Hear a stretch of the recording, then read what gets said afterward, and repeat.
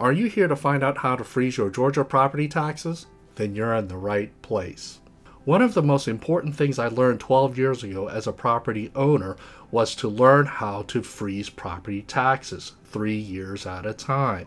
When I learned how to freeze property taxes three years at a time, I didn't have to worry about property tax increases each and every year. As I make this video in May of 2022, tax appeal season is well underway for many Georgia counties. Thousands of tax assessment notices have already gone out, with many more thousands yet to come. I'm releasing this video now because I think it's absolutely important that Georgia property owners get this information, especially with property values surging in value. As most people know, property values have surged upwards since 2020. As I make this video in May of 2022, property values are still climbing.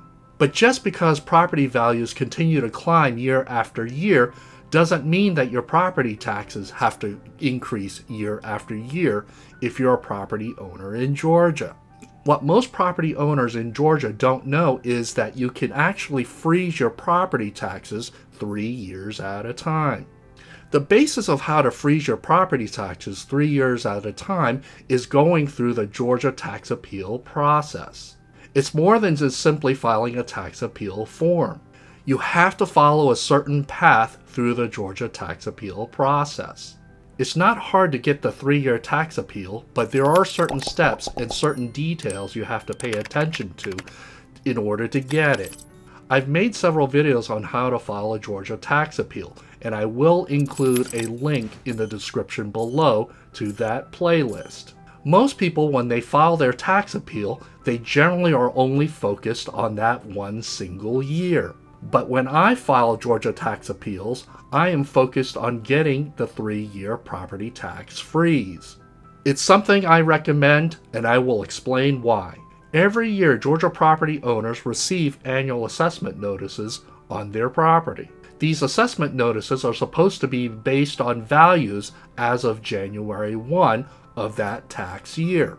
Because I'm making this video in 2022, I'm going to be using tax year 2022 as my example here. A disclaimer I am not a lawyer, appraiser, or representative for any tax assessor's office. This video should not be considered official legal, financial, or professional advice. If you need official legal, financial, or professional advice, you should hire a professional to discuss your situation. I am only providing general information based on my personal research, experiences, and opinions. Contact your local tax assessor's office for official, county specific information.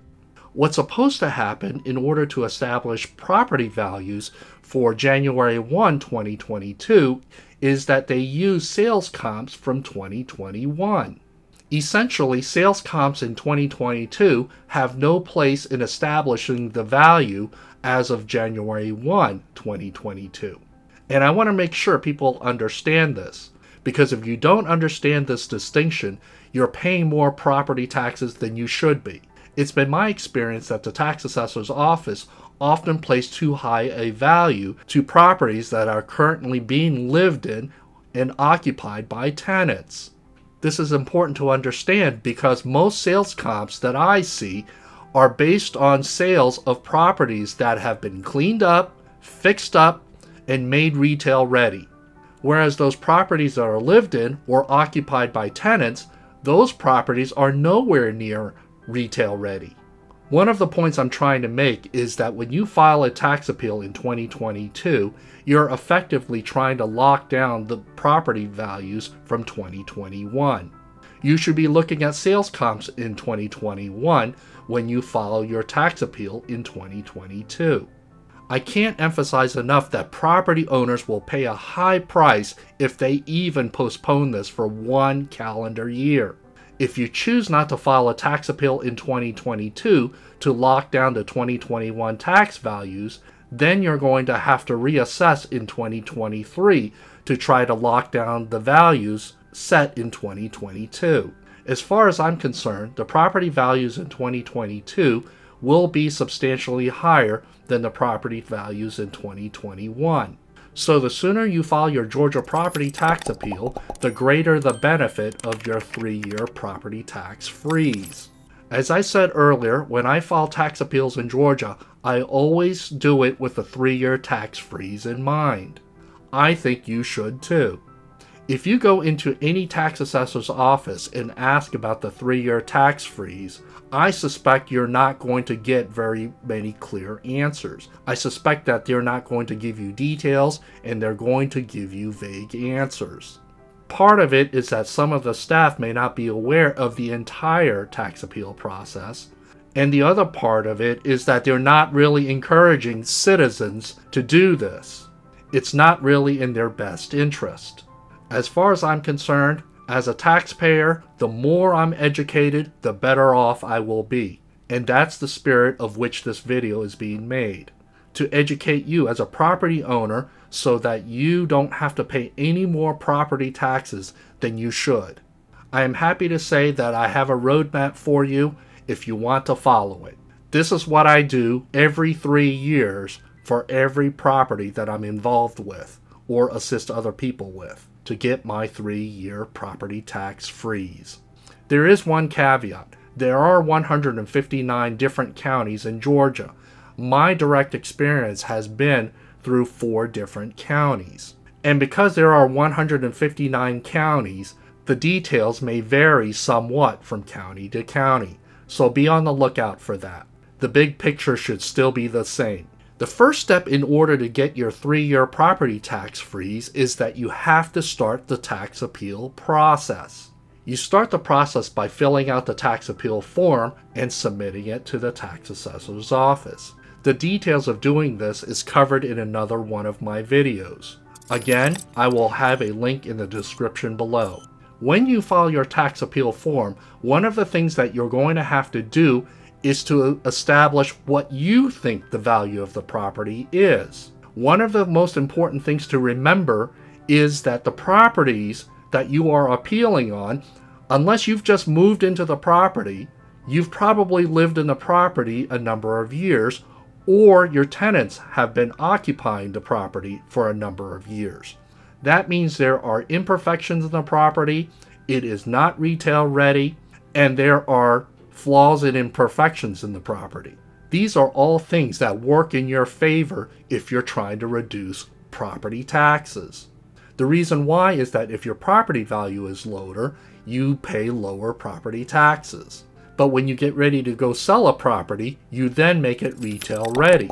But in the interim, while you're owning the property and occupying the property, the property value is not at retail value. But just understand that the value that you put on your tax appeal form will likely be substantially less than what is shown on the annual assessment notice.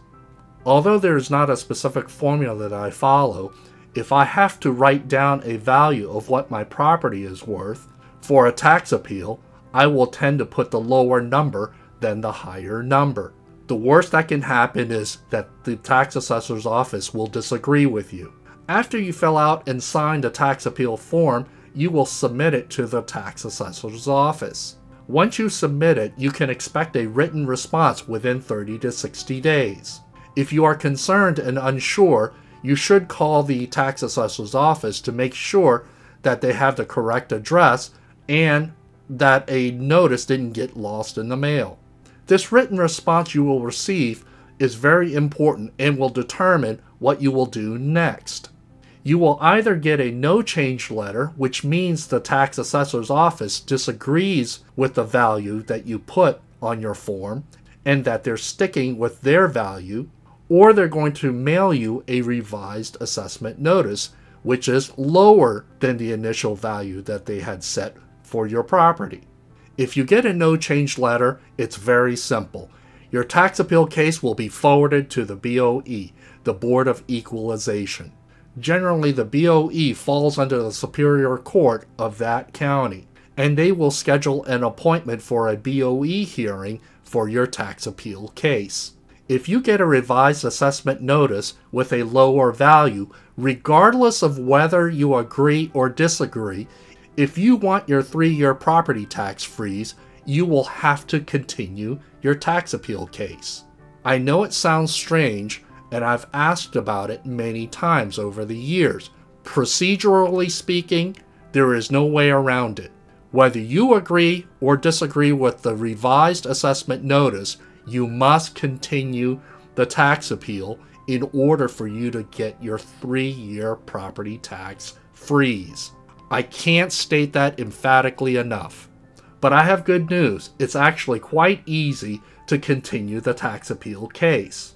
All you have to do is write a short note and send it in to the tax assessor's office. You have to submit your letter to continue your tax appeal case within 30 days of when they printed the revised assessment notice. Again, I will provide a link in the description below so that you can learn how to continue your tax appeal case. When you submit your letter to the tax assessor's office to continue your tax appeal case, they will then forward your case to the BOE to schedule a BOE hearing. Now, at this point, whether you got a no change letter or a revised assessment notice, all roads lead to the BOE hearing. But the good news is this you may not have to attend the BOE hearing. It's often a formality. What is likely to happen with many Georgia counties is that they're going to reach out to you and offer a settlement. If you're filing a tax appeal just to secure a three year property tax freeze, you're going to want to agree to this. Once you've signed a settlement agreement with the tax assessor's office, you've effectively won your three year property tax freeze for that property. But if you want to fight a little bit harder, that's up to you. But the point is, as far as getting a three year property tax freeze, if you agree to the value that the tax assessor's office presents to you, you sign the settlement form and get it back to their office. They get it signed and approved by the board, and then you get your copy, and then you're done. Keep in mind that this is the best case scenario. And this is what I've been accustomed to for the last dozen years. However, last year I ran into one county that was forcing all property owners into the BOE hearing. It was something I was prepared for because I was warned about it. So, the worst case scenario in trying to get your three year property tax freeze is that you will have to attend a BOE hearing. It's more of an inconvenience than it's difficult. Now, I understand that the BOE hearing, the way they schedule appointments, are not very convenient. You don't get a lot of say. They send you an appointment, you get one opportunity to make a change, and that's it. However, the good news is if you simply want to secure the three year property tax freeze, you don't have to be the one that makes the appearance at the BOE hearing. You can have a friend or family member appear on your behalf or you can hire someone to attend on your behalf. Regardless of who you appoint to go to the BOE hearing on your behalf, all you need to do is write a short note and send it into the tax assessor's office as well as to the BOE office to let them know who is going to show up on that BOE hearing date on your behalf. When that BOE hearing date arrives and whoever shows up on your behalf all you need to do really is to sit quietly and maybe answer a couple of questions. Honestly, it's very easy. Whoever shows up, if they show up and say that they are here at the BOE hearing simply for the three year property tax freeze, they understand what you're doing. And what will happen is that they will still go through the formalities of a BOE hearing, but you will find that the hearing will go very quickly. Last year, I attended a BOE hearing with a property owner, and we had 18 to 20 tax appeals to get through. And you know what? Because we knew why we were there, we were very efficient about it. We were there for the three year property tax appeal freeze, and so that the hearings for each of the 18 to 20 properties went by very quickly. In fact, that entire day was scheduled for the both of us, but although it was scheduled for all day, it only took an hour and a half. Needless to say, everyone was quite happy with the outcome. The BOE hearing officers were happy to get done early. The representative for the tax assessor's office was happy that it ended early. And the property owner and I were happy that we were done early. They got to go home early that day, and we were able to get our three year property tax freeze. Up until recently, I've never had to appear at any BOE hearing, but it's not really that bad. You sit through the formality, the presentation, and at the end, you are given a form signed by the BOE hearing committee as to what their determination of what the property value should be. And that property value is in effect for three tax years unless you decide to appeal it upwards further. I've only appealed one case because I didn't like the outcome of the BOE hearing, but that's a story for another time.